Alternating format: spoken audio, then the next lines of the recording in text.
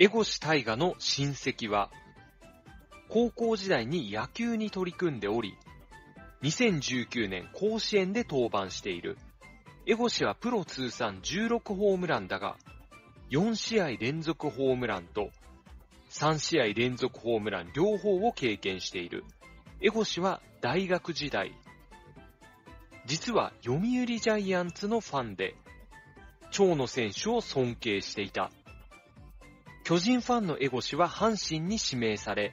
タイガースに縁があると語った理由は、